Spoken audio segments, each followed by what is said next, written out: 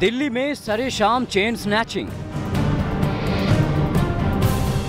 Scooty सवार झपट मारों ने महिला पर बोला हमला। ये तस्वीर दिल्ली के रोहिणी इलाके की है। सीसीटीवी की इस तस्वीर में वक्त देखिए। तीन अक्टूबर शाम चार बजकर पैंतीस मिनट का वक्त है। सलवार सूट में सड़क पर एक महिला जा रही है। तभी नीली स्कूटी से दो लड़के महिला की चेन पर झपट्टा मारते हैं। चेन मज़बूत थी, लिहाजा टूटी नहीं और महिला सामने की ओर घिसट गई। इससे स्कूटी सवार का संतुलन बिगड़ा और दोनों झपट मार भी नीचे गिर पड़े। तब तक महिला की चीख पुकार सुनकर वहीं खड़ी कार पर सवार एक लड़का झपट मारों की ओर दौड़ा।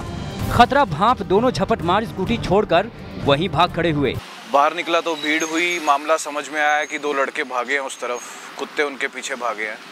और एक दो लोग भी उनके साथ पीछे भागे उनको पकड़ने के लिए। मैं भी अपनी बाइक लेके उनके पीछे निकला। ये तस्वीर दिल्ली के बुराड़ी इलाके की है। तस्वीरों पर गौर कीजिए, आधी रात को किस तरह चोर शटर खोलने की कोशिश कर रहे हैं। थोड़ी मशक्कत के बाद वो शटर खोलने में कामयाब हो गए। बदमाश दुकान के अंदर दाखिल हुए और माल पर हाथ साफ़ कर चलते बने। इस तरह बदमाशों ने एक ही रात में एक दो नहीं, बल्कि चार दुकानों के ताले तोड़कर चोरी की वारदात को अंजाम दिया।